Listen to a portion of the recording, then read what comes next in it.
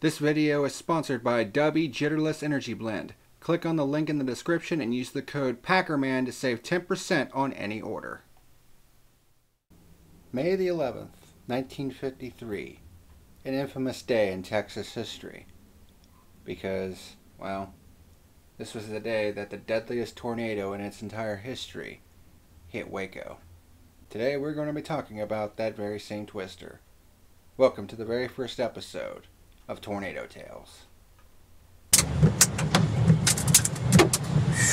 Uh, oh, that is scary. The truck is, oh my gosh. Holy smokes.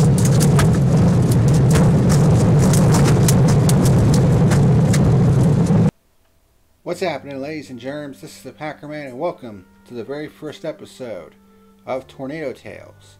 And since this is the first episode of this show, I figured we might as well talk about the first tornado of its very kind the 1953 Waco, Texas tornado.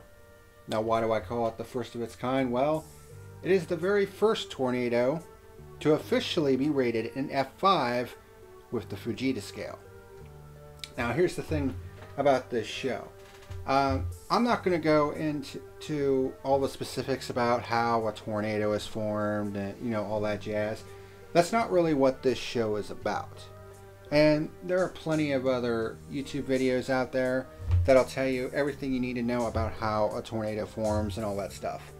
And besides, if you've watched tornado videos in the past, you pretty much know at this point what they do anyway and how they're formed. What this show is all about is we're going to be taking a back look back at a lot of these uh, different tornado stories, and this is kind of a cautionary tale kind of series to take a look back at all these devastating events and what can be done to prevent them in the future. So for this particular tornado, we are taking a trip back in time to May the 11th, 1953. This tornado was actually part of a series of deadly tornadoes, a tornado outbreak that occurred between May the 9th and May the 11th, 1953.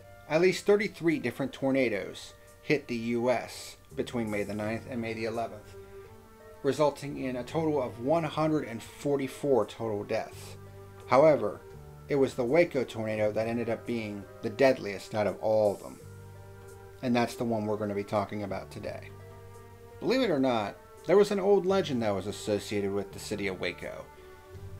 An old legend where tornadoes, or at least powerful ones, could not touch down in the city of Waco, which was located in a geological depression. Supposedly due to the bluffs around the Brazos River. Tornadoes and other severe weather was relatively rare and mild in the city. However, that myth was completely shattered to pieces on May the 11th, 1953, when the very first tornado to be rated an F5 on the Fujita scale came rumbling through the town. The tornado first touched down at 4:10 p.m. Central Standard Time, about 3 miles north-northwest of the Lorena community. It quickly began damaging structures, destroying a home near Lorena as it tracked northeastward.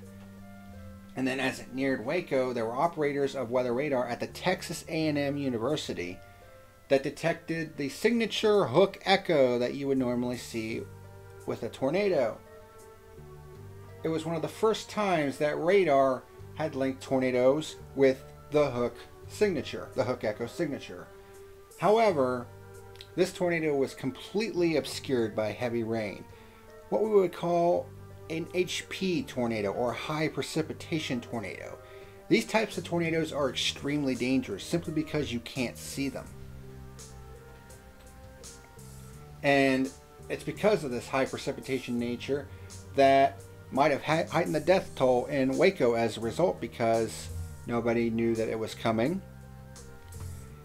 And because of that, the appropriate actions weren't taken, and it's probably what resulted in the high death toll that Waco saw from this twister. As the storm began hitting the city of Waco, hundreds of people that were on the streets began crowding into buildings for shelter. to try to take shelter from not only the heavy rain, but baseball sized hail. However, there were very few buildings in Waco at the time that could withstand the winds.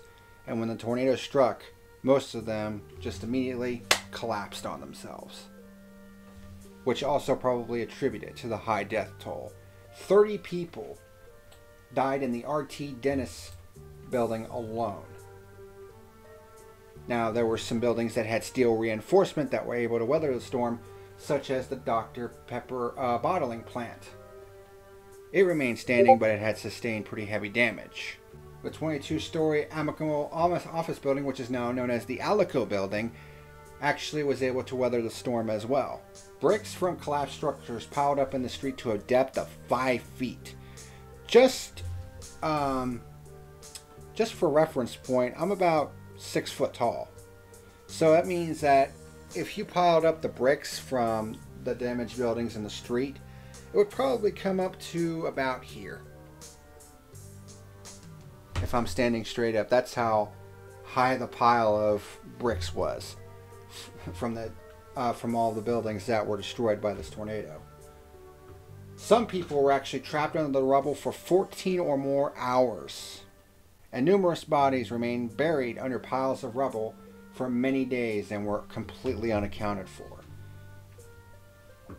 After completely devastating Waco, uh, the tornado continued to the north northeast and dissipated about five miles west of Axtell.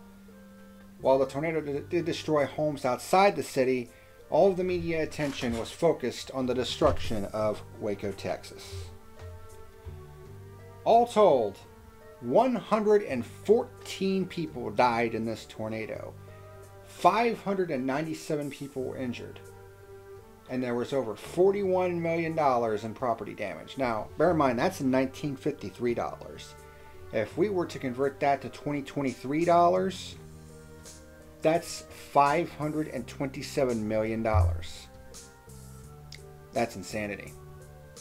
The tornado destroyed 196 businesses and factories, 150 homes were destroyed, and over 2,000 cars sustained at least some level of damage.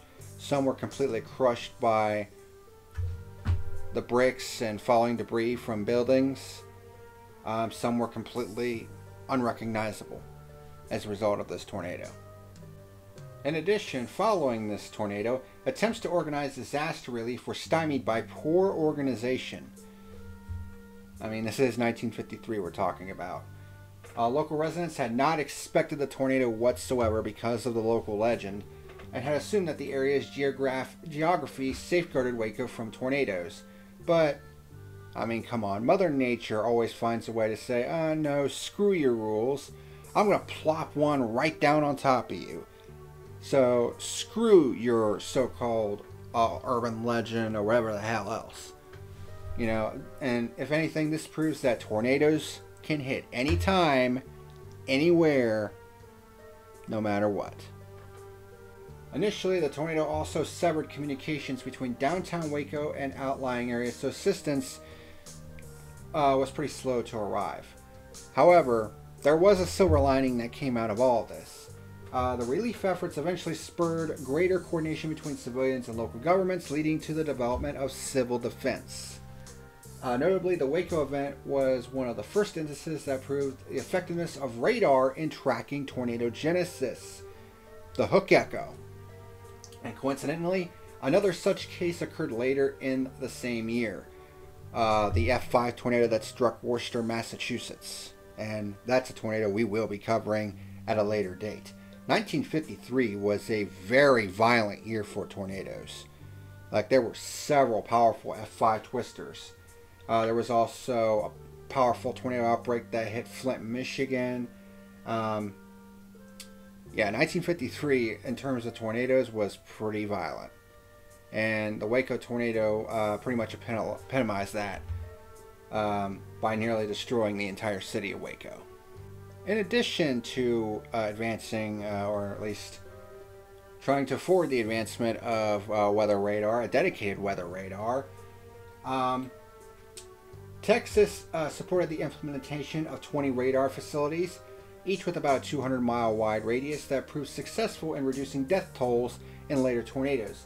This system became known as the Texas Radar Tornado Warning Network and included communications between weather officials, storm spotters, and local officials. So, if there was a silver lining that came out of this uh, Waco tornado, it helped catalyze development of a nationwide severe weather warning system.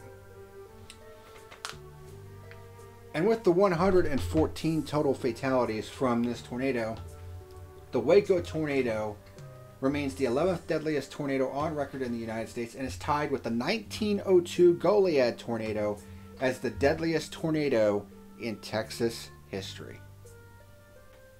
And thus ends the story of the 1953 Waco F5 tornado.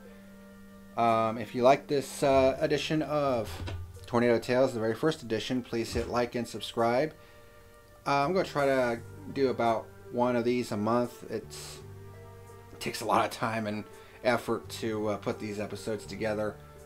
Um, of course, the easy part is, you know, sitting here and talking to the camera, of course, but, you know, having to go through and splice everything together and do research and all that other stuff, it does take some time. So I'm going to try to crank out at least one of these per month, if at all possible.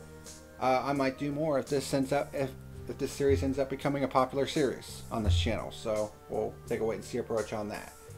Uh, the next tornado that I'm definitely going to be covering, since I covered the very first F5 to ever be recorded in the United States officially, since they started tr- keeping track of tornadoes in 1950, the next episode is going to showcase what is, to this day, the last F5 tornado, or in this case, EF5 tornado, to ever take place in the United States, and that is the 2013 Moore, Oklahoma tornado. But we'll be covering that in the next episode. So, uh, thank you very much for watching the first ever episode of Tornado Tales, and until next time, this is the Packer Man signing out. See you later. Hey, ladies and germs, thank you for watching tonight's video. If you would like to sponsor the channel, be sure to click on the link to my Patreon down in the description below. Otherwise, hit like and subscribe to be able to tune in for more great content like you just saw today. Thank you very much for watching, and until next time, this is the Packer Man signing out.